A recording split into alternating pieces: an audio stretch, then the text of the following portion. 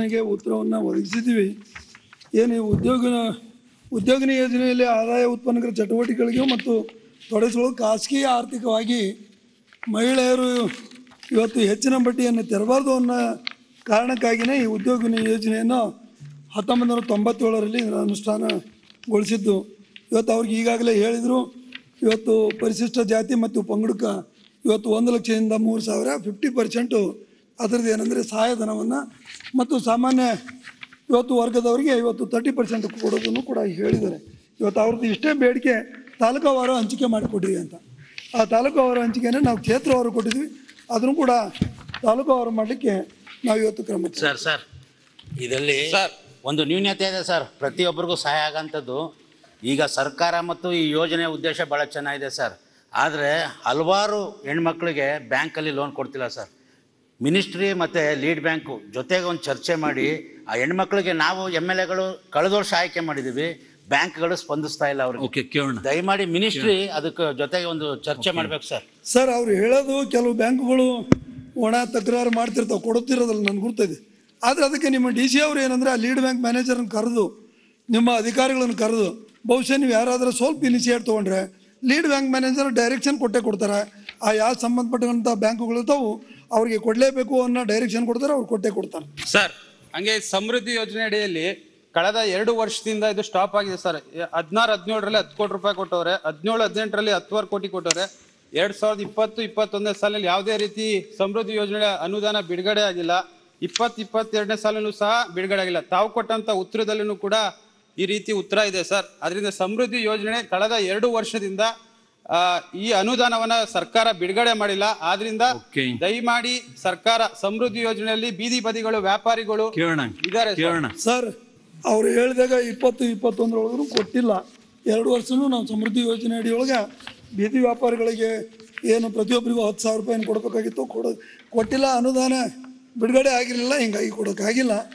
ಈ ಸಲ ಏನಾದರೂ ನಮ್ಮ ಬಜೆಟ್ನೊಳಗೆ ಅನುಕೂಲ ಮಾಡಿಕೊಂಡು ಬಿಡುಗಡೆ ಆಯಿತು ಅಂದರೆ ಇವತ್ತು ಆ ಸಮೃದ್ಧಿ ಯೋಜನೆಗಳಿಗೂ ಕೊಡ್ತೀವಿ ನಾವು. ಈಗ ಮಹಿಳೆಯರು ಸಾಕಷ್ಟು ಇದನ್ನ ನಂಬಿ, ಬಾ, ಬಾಳೆ ವ್ಯಾಪಾರ ಆಗಿರ್ಬೋದು, ಸೊಪ್ಪಿನ ವ್ಯಾಪಾರ ಆಗ್ಬೋದು, ಹೂವಿನ ವ್ಯಾಪಾರ ಆಗ್ಬೋದು, ಇವತ್ತು ಹೊರಗಡೆ ನಾವೇನಾದ್ರು ಬಡ್ಡಿಗೆ ತಗೋತೀವಿ ಅಂದ್ರೆ ಹತ್ತು ಪರ್ಸೆಂಟ್ ರೂಪಾಯಿ ಬಡ್ಡಿ ತಗೋತಾನೆ. ಹತ್ತು ಸಾವಿರ ರೂಪಾಯಿಗೆ ಸಂಜೆ ಹೊರಗಡೆ ಒಂದು ಸಾವಿರ ರೂಪಾಯಿ ಸೇರಿಸ್ಕೊಡ್ಬೇಕು. ಆದ್ರಿಂದ ಹಿಂದಿನ ಸರ್ಕಾರಗಳು ಹತ್ತು ಕೋಟಿ ಅಂದ್ರೆ ಕನಿಷ್ಠ ನೂರು ಜನಕ್ಕೆ, ಇನ್ನೂರು ಜನಕ್ಕೆ ಪ್ರತಿ ತಾಲೂಕುವಾರು ಕೊಡ್ತಿದ್ರು. ಅದರಿಂದ ಎರಡು ವರ್ಷ ಈ ಸ್ಕೀಮ್ ಸ್ಟಾಪ್ ಮಾಡಿರೋದ್ರಿಂದ ಇವತ್ತೇನೇ ನಾವು ಎರಡು ಲಕ್ಷದ ಅರವತ್ಮೂರು ಸಾವಿರ ಕೋಟಿ ಏನು ಬಜೆಟ್ ಮಂಡನೆ ಮಾಡಿದೀವಿ.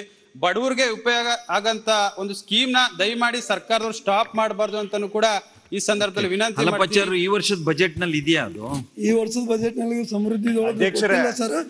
ನಾನು ಬೇಡಿಕೆ ಇಟ್ಟಿದ್ದೀನಿ. ಅಧ್ಯಕ್ಷರೇ. ಸರ್, ಇದನ್ನ ಬಹಳ ಸಣ್ಣ- ಮುಖ್ಯಮಂತ್ರಿಗಳಿಗೆ ತಿಳಿಸಿದ್ರೆ ಸಣ್ಣ ವ್ಯಾಪಾರಸ್ಥರು ಮಹಿಳೆಯರಿಗೆ ಅನುಕೂಲ ಆಗುವಂತ ಯೋಜನೆ ಅದು. ನಿಜವಾಗಿ ಕೆಳ ಸ್ತರದಲ್ಲಿ ನೀವು ಯಾರು ನೀವ್ ಹೇಳೋ ಪ್ರಕಾರ ಪಕೋಡ ಮಾರ್ಕೊಂಡು ಜೀವನ ಮಾಡ್ತಾರಲ್ಲ ಅಂತವರಿಗೆ ಅನುಕೂಲ ಆಗುವಂತದ್ದು ಇದು. ಆ ಪಕೋಡ ಮಾರೋರ್ಗು ನೀವು ಹಿಂಗೆ ಮಾಡಬಾರ್ದು. ಆಲಪಣ್ಣ ಅವರು ಸಹಕಾರಿ ದುರೀಂಡ್ರು.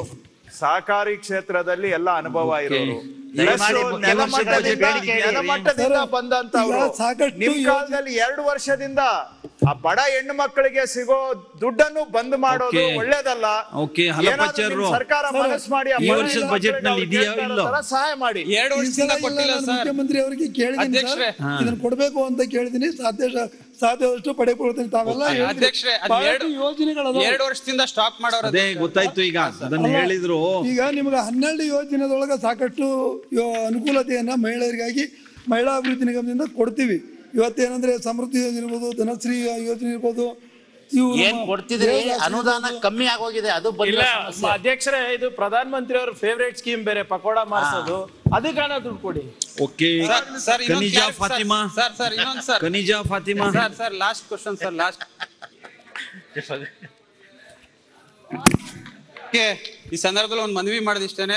ನಮ್ಮ ರಾಜ್ಯದಲ್ಲಿ ನಮ್ಮ ದೇಶದಲ್ಲಿ ಏನು ಮಂಗಳಮುಖಿಯರು ಏನಿದ್ದಾರೆ ಅವ್ರಿಗೆ ಸರ್ಕಾರದಿಂದ ಏನಾದ್ರು ಯೋಜನೆಗಳನ್ನ ರೂಪಿಸ್ಕೊಡ್ಬೇಕು ಅಂತ ಈ ಸಂದರ್ಭದಲ್ಲಿ ಮಾನ್ಯ ಸಚಿವರಿಗೆ ಸರ್ಕಾರಕ್ಕೆ ನಾನು ಈ ಸಂದರ್ಭದಲ್ಲಿ ಮನವಿ ಮಾಡ್ತೀನಿ. ಯಾಕಂದ್ರೆ ಮಹಿಳೆಯರಿಗೆ ಸ್ಕೀಮ್ ಕೊಡ್ತಿದ್ದೀರಿ. ಈ ದೇಶದಲ್ಲಿ ಅವರು ಕೂಡ ಮಂಗಳಮುಖಿಯರು ಈ ರಾಜ್ಯದಲ್ಲಿ ಬದುಕ್ತಿದ್ದಾರೆ.